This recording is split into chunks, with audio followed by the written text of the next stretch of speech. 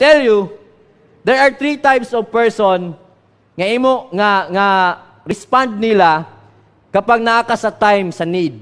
Naitulo ka, naitulo ka types. Una, ang mga tao na walay care sa imo, no care at all. Na yung mga tao na ingana, nakita na niya nga naglisod ka. Narinig na niya na talagang may, may meron kang struggle sa buhay.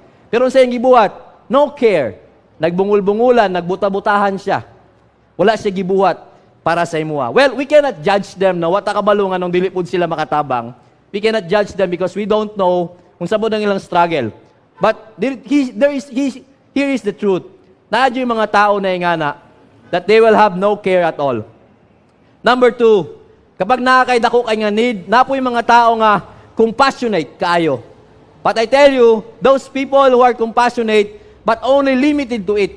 Diha lang ko to, maluoy lang. Kanang pagkabalo nila nga namatay mong papa, pagkabalo nila nga wala ka kapasa sa exam, gitawagan ka niya, "Ay, naluoy jud ko sa imo, luoy kay ka ba? Luoy kay ka gusto ta katabangan. Kung pwede pa lang, ulihan ta ka diha." O ana lang, compassionate lang ko to, pero wala naman talagang tinulong sa iyo. But again, we cannot judge them, no? Because we don't know their struggle. Third, alam nyo, itong good news, may pangatlo. Merong tao na compassionate, na awa, pero meron din silang real faith. Katong mga tao na to na tung nabalitaan niya nga naglisod ka, tung time nga nakita niya na in need kay ka, naluoy siya sa imuha o niya gitabangan ka niya. Ang tanong ngayon, saan tayo doon sa tatlo?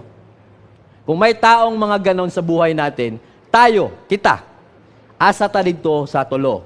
Now, James is saying here that if my faith doesn't lead me to share with others, now it's wrong.